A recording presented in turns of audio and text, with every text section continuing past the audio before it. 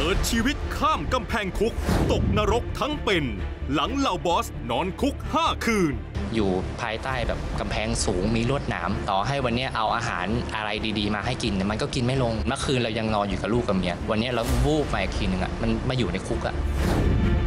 บอสกันแซมมีน ลงแดนเมื่อไหร่ เกิดเหตุชุลมุนแน่นอน ศิลปินดาราหรือคนที่มีชื่อเสียงเนี่ยจะหนักหน่วงกว่าบุคคลธรรมดาทั่วไป และนักโทษทั้งหลายเนี่ยอยากจะเข้ามาหาเขา อยากจะเข้ามาวุ่นวายในชีวิตของเขาฮะ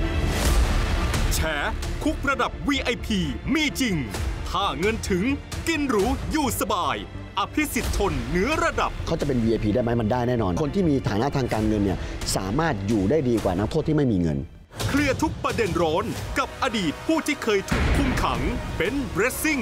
และรังพระนคร วันอังคารที่ 22 ตุลาคม เวลา 14 นาฬิกา 5 นาที ห้ามพลาด